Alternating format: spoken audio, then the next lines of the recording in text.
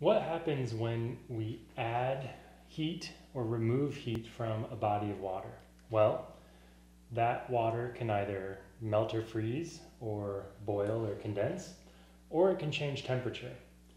The terms latent heat and sensible heat describe those processes.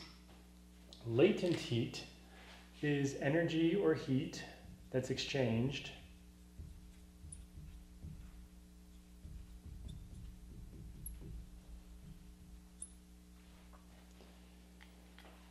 when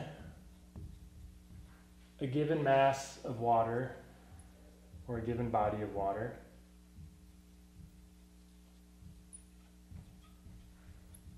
changes phase. That means specifically when it goes from being a solid to a liquid or from a liquid to a gas.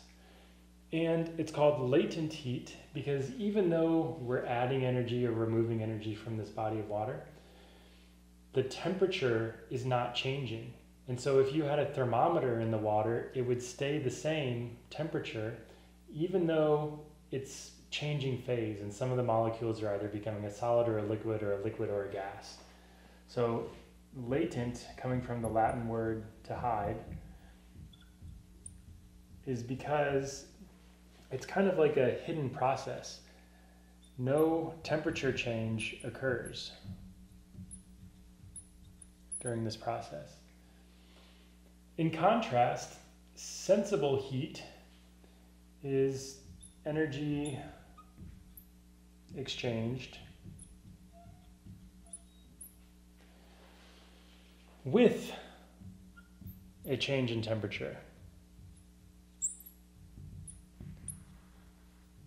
So if, if there's a puddle of water on the street and it's 15 degrees Celsius and it's and you're adding heat to it, it's going to warm up and you're going to be able to measure with a thermometer that it is actually increasing in temperature. So these are the general concepts. The terms latent heat of fusion and latent heat of vaporization are how we actually quantify these physical processes. The latent heat of fusion is the quantity of heat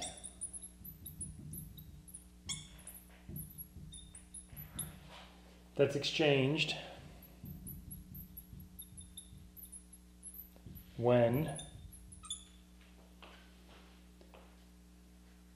a unit mass melts or freezes.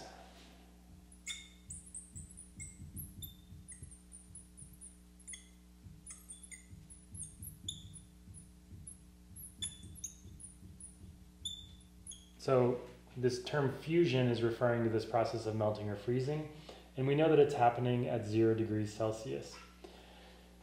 This amount is 3.3 times 10 to the fifth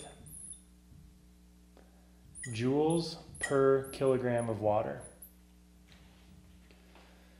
So more than 300,000 joules are required to melt um, a block of ice, or for example.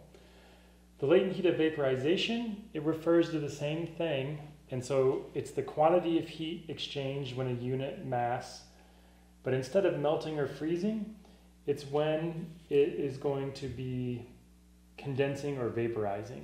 So I'm going to put these little quotes in to say that it's the same definition, but here I'm going to write condense or vaporize.